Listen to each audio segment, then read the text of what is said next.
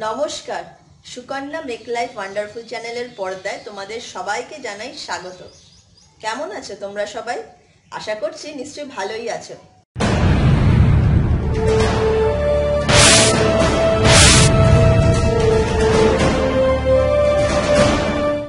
রাতে আচমকা পায়ের কাফ মাসল বা থাইয়ের পেশিতে অসহ্য তীব্র যন্ত্রণায় ঘুম ভেঙে যাওয়ার অভিজ্ঞতা কম বেশি আমাদের সকলেরই আছে। যখন পায়ে এইরকম টান ধরে বা পেশিতে খিজ ধরে, তখন আমরা খুব অসহায় পরিস্থিতির মধ্যে পড়ি। পা নাড়ানো, চাপ দিয়ে পা সোজা করা বা নিজে হাতে পাকে ম্যাসাজ করে স্বাভাবিক অবস্থায় নিয়ে আসা খুব কষ্টকর হয়ে দাঁড়ায়। একেই বলে মাসল ক্রাম বা পেশিতে খিজ ধরা।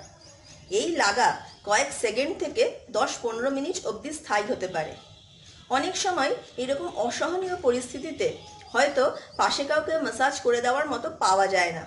সেই এমার্জেন্সির সময় কীভাবে এই মাসাল ক্রাম থেকে রিলিফ পাওয়া যায় তাই নিয়েই আমাদের আজকের এই ভিডিও মাসল ক্রাম থেকে উপশমের পদ্ধতি বলার আগে কি কারণে মাসল ক্রাম্প হয় তা খুব সংক্ষেপে একটু বলে নিই। সাধারণত পায়ের কাফ মাসেলে খিচ ধরাটাই খুব কমন মাসল ক্রাম্প তবে হাতে, পায়ের পাতায় থাইয়ে বা পেটেও কিন্তু ক্র্যাম্প ধরতে পারে। মাসল ক্র্যাম্পের একেবারে সুনির্দিষ্ট কোনো কারণ জানা না গেলেও চিকিৎসকদের মতে, আমাদের শরীরে ডিহাইড্রেশন বা জলের অভাবে কিন্তু এর প্রধান কারণ। এছাড়াও, আমাদের শরীরে সোডিয়াম, পটাশিয়াম, ক্যালসিয়াম ম্যাগনেশিয়াম ইত্যাদি গুরুত্বপূর্ণ মিনারেলগুলোর ঘাটতি হলেও কিন্তু মাসল ক্রাম্প হতে পারে। অত্যাধিক এক্সারসাইজ বা বেকায়দায় শোয়া বসার কারণেও মাসল ক্রাম্প হয়। আবার হাইপোথাইরয়েডিজমের কারণে বা প্রেগনেন্সির সময়ও কিন্তু আচমকা মাসল ক্রাম্প হতে পারে। এইবারে বলি, আচমকা মাসল ক্রাম্প হলে কীভাবে এই পরিস্থিতি থেকে নিজে নিজে রিলিফ পেতে পারো?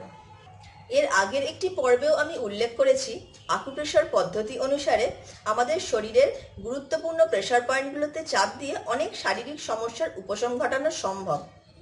মাসেল ক্রাম্পের ক্ষেত্রেও দুটি বিশেষ প্রেশার পয়েন্টে চাপ দিয়ে কিন্তু কিছুক্ষণের মধ্যেই আমরা এই মাসেল ক্রাম্প থেকে রিলিফ পেতে পারি। আমি নিজে উপকার পেয়েছি বলে আজ তোমাদের সঙ্গে এই পদ্ধতিটি শেয়ার করছি।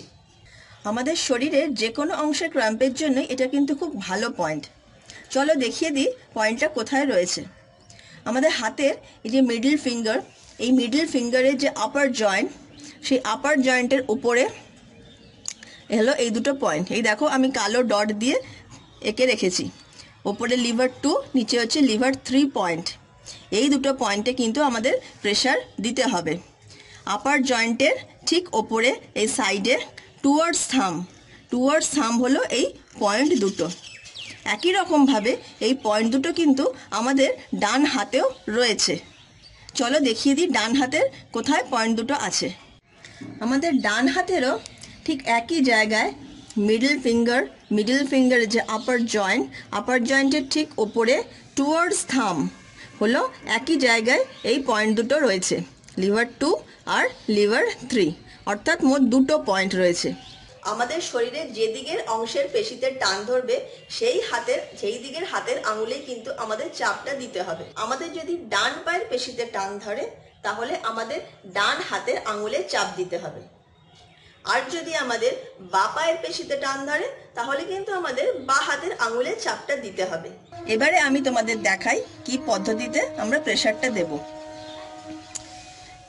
আমাদের যে বুড়ো আঙুল বা থাম দিয়ে এই জায়গাটা এভাবে সাইডে ধরতে হবে। দিয়ে এদিকে ইন্ডাস ফিঙ্গারের সাপোর্ট দিতে হবে। দিয়ে এইভাবে খুব জোরে জোরে জোরে জোরে আমাদেরকে প্রেশারটা দিতে হবে। মাঝে মাঝে আবার এইরম এইরমভাবে ভালো করে টুইস্টও করতে পারো। একবার জোরে জোরে প্রেশার দেবে কিছুক্ষণ, আবার এরমভাবে টুইস্ট করবে।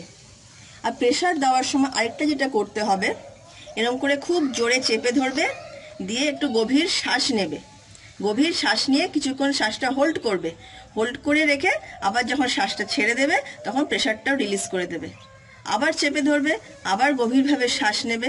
শ্বাস নিয়ে কিছুক্ষণ হোল্ড করে রাখবে, রেখে শ্বাসটাও ছেড়ে দেবে, চাপটাও ছেড়ে দেবে। এভাবে বেশ কিছুক্ষণ করে যেতে হবে। একবার করে চাপবে, শ্বাস নেবে হোল্ড করবে, ছেড়ে দেবে, আবার চাপটাও ছেড়ে দেবে। এইভাবে বেশ কিছুক্ষণ অবধি করে গেলেই দেখবে তোমাদের ক্র্যাম একদম ছেড়ে গেছে।